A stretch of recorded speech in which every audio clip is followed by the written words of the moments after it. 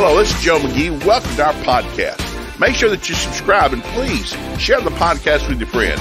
That is the number one way you can help us reaching people with God's love and healing. We love you guys. Hope you enjoy the podcast. Hey everybody, it's Joe McGee through the Bible where we're going from Genesis to Revelation in chronological order as it happened. I've said this several times in this program. The Bible's not written in chronological order. It's written from the longest book to the shortest book. Uh, Genesis covers some 2,500 years of history, and so that's why it's the first book. It's not the oldest book. I personally am uh, believe that I believe that uh, uh, you know uh, you got others that are older than that, but they're not they're not put in that order. So, uh, uh, Job is personally my thing is the oldest book in the Bible, which is incredible because the story of what happens to Job. So today we're picking up in uh, Joshua chapter twelve, continues the story how God sent them out. They've been delivered from Egypt. They crossed the Red Sea. They've settled the Promised Land where they're settling it now.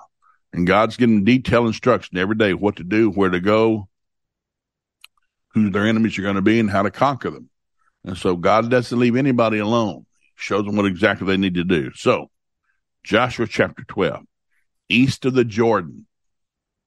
These were the kings east of the Jordan River who had been killed by the Israelites and whose land was taken. Their territory extended from the Arnon Gorge to Mount Hermon. Now, Mount Hermon, you know, that's northern Israel, Mount Hermon, including all the land east of the Jordan Valley. King of the Amor- uh, Amorites who lived in Heshbon was defeated.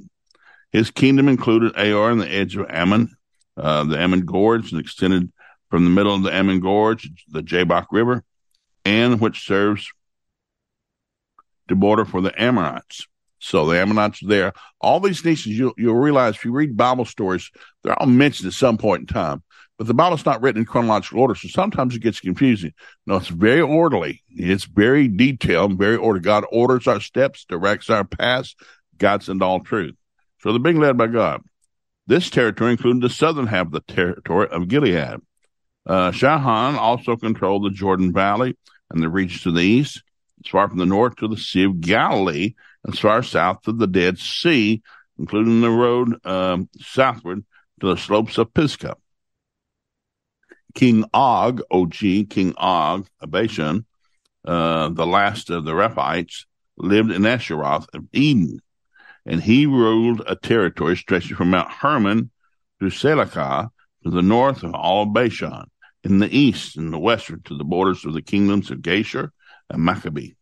This territory included the northern half of Gilead, as far as the boundaries of King uh, Sihon and Heshbon. Now, people think, well, who cares? Well, it's important you know, there's nothing in the Bible God didn't want there. And so when you become a student of the Bible, you're fascinated because God is so detailed. I'm going to tell you exactly what we're going to do, where we're going to go, what we accomplished. Um, let's see, uh, verse 9.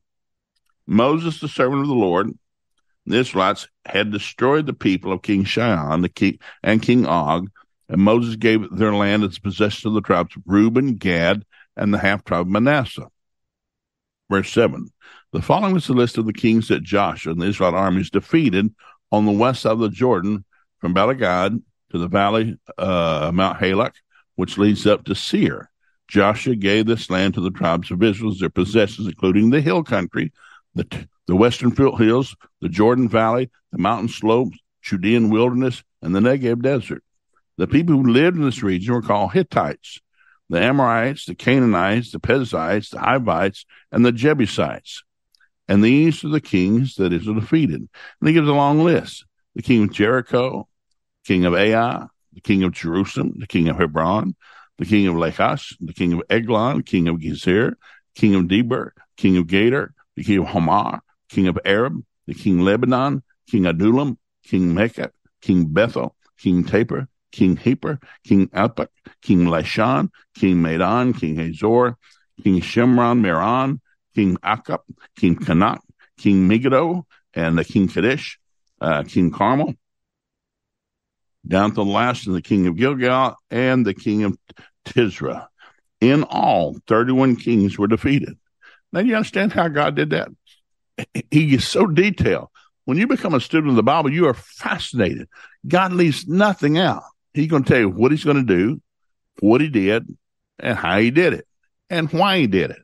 And so there's a reason for everything. Sometimes you say, man, God, he was just vicious. No, he wasn't. He's very loving and kind, gracious. Uh, the mercy, he's a merciful God. God's mercy is new every morning. But people who sinned against him were rebellious. Uh, we don't say these words very much, but they were demon possessed. You know, Jesus spent a lot of time here on earth, uh, 33 and a half years. His three and a half years of ministry, he went about teaching and preaching. So Jesus, the Son of God, came to earth, spent a third of his time teaching and preaching.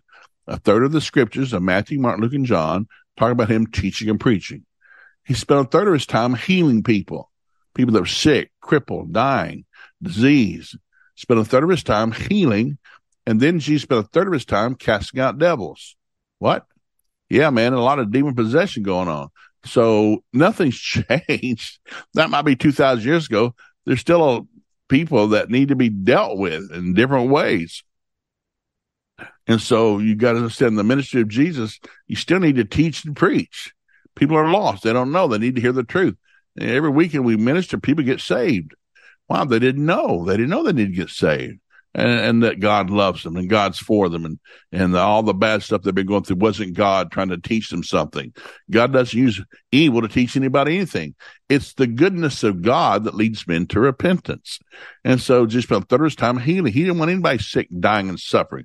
Well, God's trying to teach something. That's not my God. He's not trying to use, God never used sickness to teach anybody anything. God's trying to heal people, and get them to live long with long life. Will I satisfy you and show you my salvation? And then Jesus spent a third of his time casting out devils. God gave us authority. Jesus told his disciples, you'll go around, you'll cast out demons. You've got authority over devils. And they came back one time. They'd been out ministering, came back on one of the worst times Jesus sent them out. And they were so excited. Said, Jesus, even demons are subject to your name. He said, well, don't get excited about that. Get excited that the gospel's being preached, that people are getting born again and they're going to live forever in heaven. Get excited about that. So that's just a great story about all the kings and what happened and how God is so detailed. Well, if God's that detailed in Israel's life, He's that detailed in your life. There's nothing in your life God's not concerned about. Whenever you go to God in prayer, He already knows what you're going through. I tell people, God knew your mother before she met your father. God knew your parents before your parents even met. God knew you were coming. You didn't shock anybody when you came out of your mother's womb. You might have surprised your parents, but you didn't surprise God. He saw you coming. All the days of your life are written in a book in heaven. God will order steps, direct paths, guide it all truth, show things to come. Talk to him when you go to sleep. Talk to him when you get up. God's a good God. It's going to be a great run. So hope you enjoyed that. Tune in next time. We're going to pick up and go through Joshua and the children of Israel going to the promised land. God bless, guys. Thanks for listening.